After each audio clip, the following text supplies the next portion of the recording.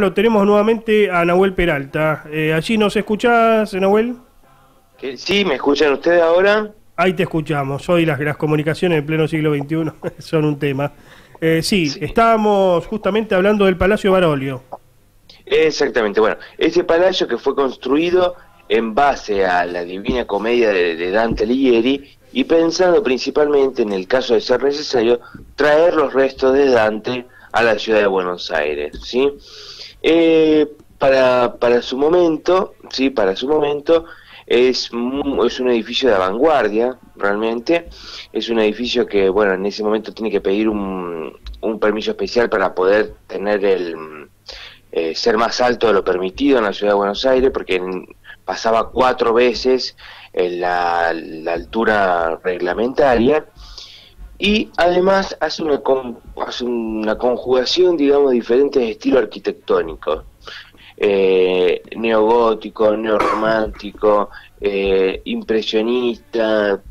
Esto tiene que ver también con poder salvaguardar, en el caso de la destrucción de, Europa en las guerras, poder salvaguardar los diferentes estilos, ¿sí?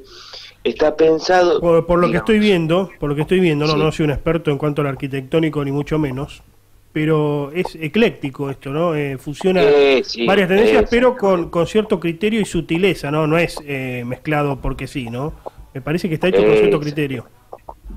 Claro, exactamente. Es este, este eclecticismo que tiene el edificio, de una forma sutil, obviamente, como bien decías, Antonio, trata de mostrar los diferentes, los diferentes estilos. Por ejemplo, si se ve la cúpula, esta cúpula también está, está pensada en cuanto a la arquitectura india del siglo XII. Eh, Entonces trata de hacer una conjugación de diferentes cosas.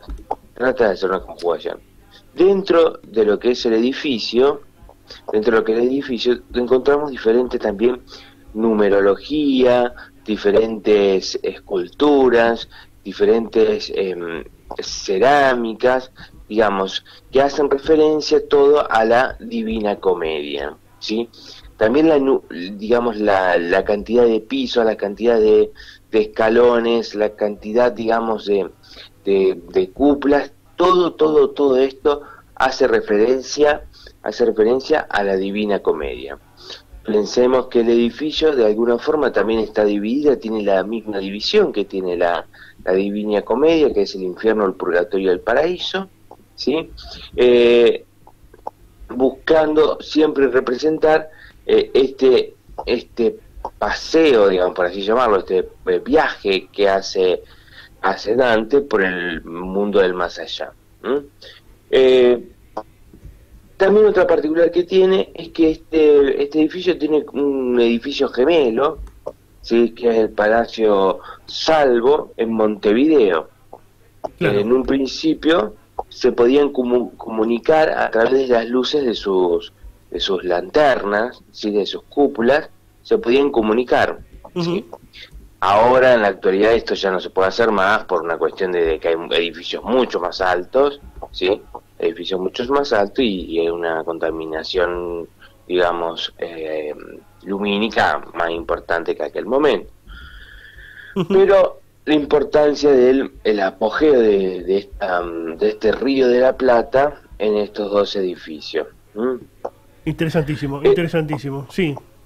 Y no, un poco era comentarles sobre este edificio, porque bueno, vamos a estar visitándolos a este edificio en, el, en la primera semana, segundo sábado de agosto, vamos a estar visitándolo eh, con todos los, los alumnos y aquellos que se quieran sumar a visitarlo. ¿Cómo pueden contactarse?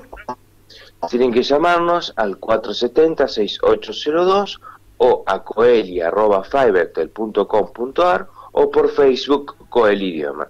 Vamos a estar visitando el Palacio Barolo, el Museo del Inmigrante, que bueno, en otra ocasión les puedo comentar de dónde surge este Museo del Inmigrante, porque tiene una historia muy particular, y vamos a estar visitando también el barrio de La Boca. Excelente, como siempre. Muchas gracias, Nahuel. Gracias a ustedes. Hasta luego. Buen miércoles. Adiós.